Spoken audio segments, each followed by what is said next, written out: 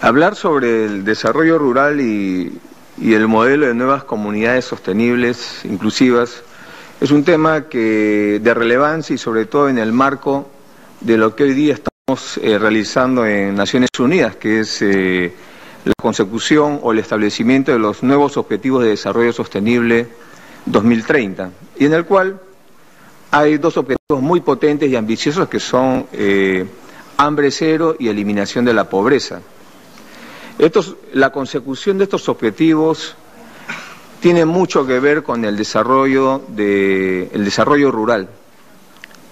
Por lo tanto, yo haría algunos comentarios. Primero, que uno de los principales déficits que tienen los países eh, en desarrollo es justamente el desarrollo rural, donde está eh, capitalizado o es el epicentro de la pobreza y la desigualdad y donde el desarrollo de la agricultura como actividad económica, como actividad milenaria, eh, es un rol en el cual el Estado no puede dejar de participar. Y esto involucra una serie de experiencias como las que se han venido señalando. En el Perú también tenemos experiencias básicamente de cooperación agrícola, que llamamos la MINCA, el AINI, donde es la comunidad la que se aglutina para trabajar juntos el campo, para trabajar juntos la construcción de infraestructura comunitaria. Sin embargo, eso no ha bastado, porque hoy día constatamos que es fundamental para el desarrollo del área rural la presencia del Estado, a través de un conjunto de servicios en lo que es política de salud política educativa, política de saneamiento, las carreteras, que nos permitan generar eh, mercados internos y permitan darle eh, sostenibilidad a estas economías del campo.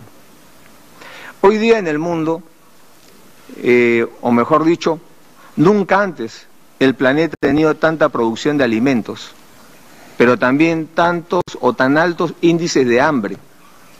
Es decir, no es un problema de distribución, es un problema político.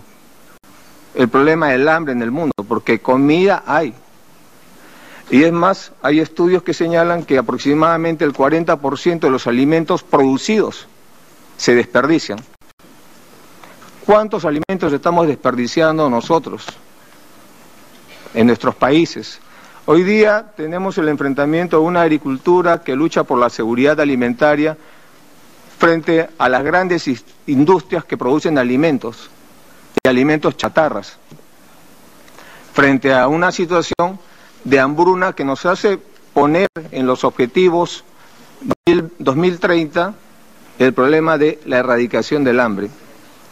Por lo tanto, lo digo esto a manera de reflexión.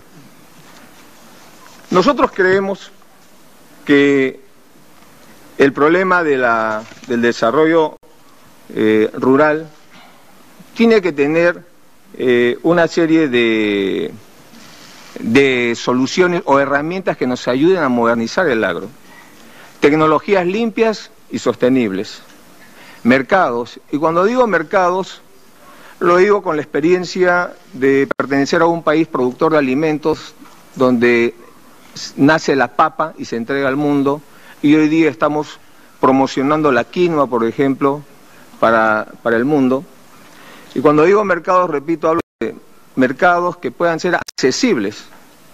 Porque hoy día las principales barreras ya no son las barreras arancelarias, sino las barreras para arancelarias, las barreras fitosanitarias, donde entramos a un problema burocrático y que al final hace que la producción de las zonas rurales tenga este tipo de problemas.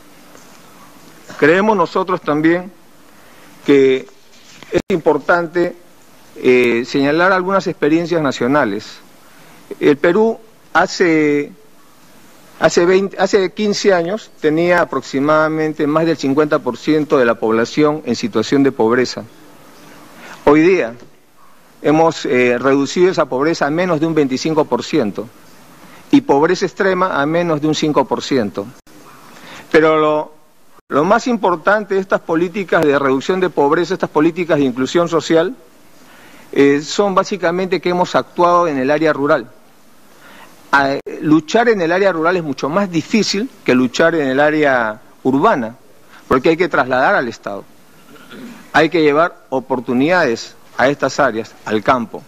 Y eso es la clave de cómo podemos hacer para modernizar eh, lo que es las zonas rurales y sus, y sus economías.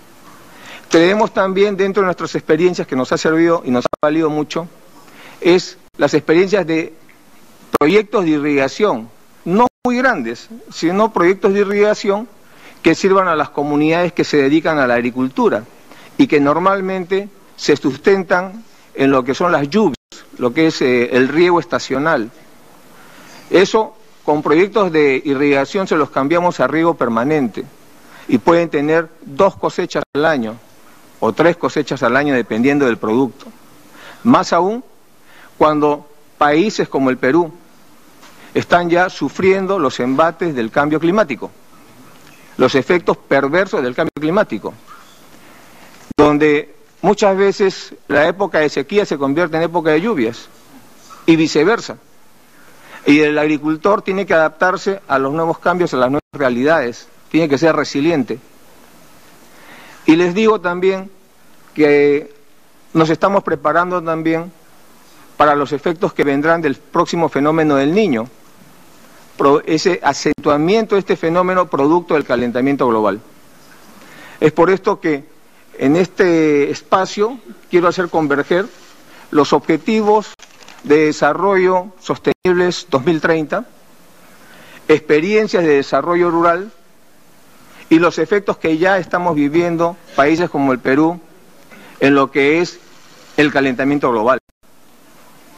Esa es parte de la contribución del Perú en la lucha contra el calentamiento global frente a otros países que tienen que también aportar compromisos nacionales para la mitigación y, la, adaptación.